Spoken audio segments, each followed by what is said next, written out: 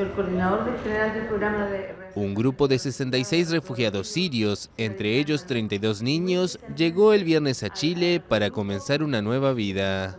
Es un día muy importante para nosotros y para ustedes y yo quiero darles la bienvenida a ellos, a Chile, su nuevo hogar. Hay 14 familias provenientes desde Siria que han llegado en calidad de refugiados a nuestro país y nuestro deseo es que comiencen poco a poco a dejar atrás el miedo, el dolor y la incertidumbre. Las familias provienen de ciudades como Alepo, Damasco y Edlif, pero llevaban al menos dos años viviendo en el Líbano.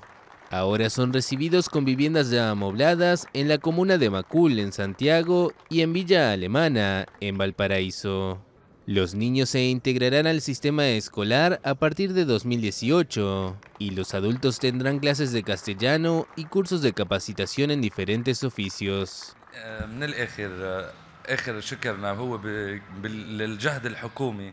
No conocíamos mucho a la gente de Chile, pero los estamos descubriendo ahora y estamos muy agradecidos por su bienvenida y esperamos poder responder a ella. La comunidad siria en Chile está compuesta por unas 80.000 personas, mientras que la palestina alcanza los 300.000, convirtiéndose en la más numerosa fuera de los territorios ocupados.